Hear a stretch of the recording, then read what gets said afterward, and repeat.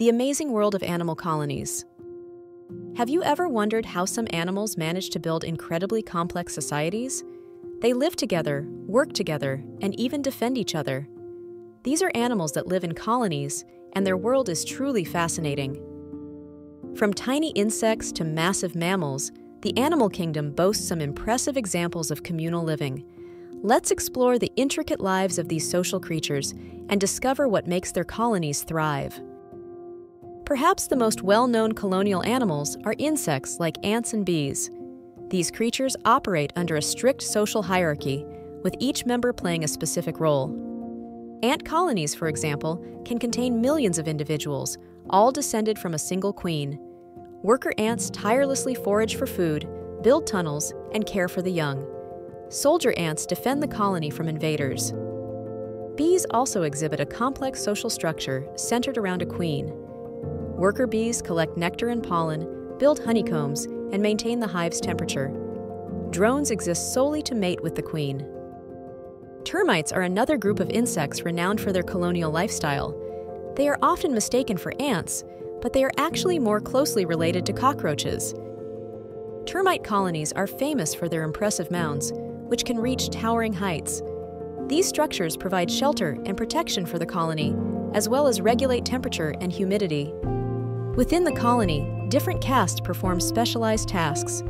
Workers gather food, soldiers defend the colony, and the queen lays eggs to sustain the population. Moving beyond insects, we find fascinating examples of colonial behavior in mammals. The naked mole rat is one such example. These unusual creatures live in underground colonies in East Africa.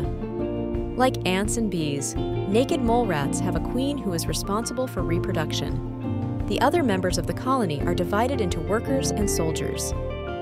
Workers dig tunnels and forage for food, while soldiers defend the colony from predators. Naked mole rats are also unique in that they are cold-blooded, relying on the colony to regulate their body temperature. Coral reefs are often referred to as the rainforest of the sea, and for good reason.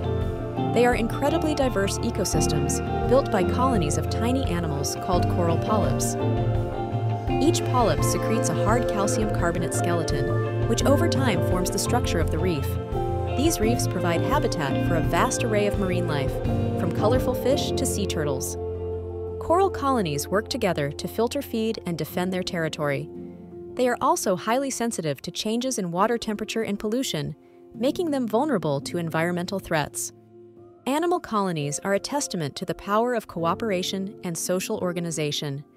From the intricate societies of ants and bees to the underwater cities of coral reefs, these communities demonstrate the remarkable diversity of life on Earth. By studying these fascinating creatures, we can gain a deeper understanding of the principles of social behavior and the importance of working together to achieve common goals. The animal kingdom continues to inspire and amaze us with its ingenuity and resilience.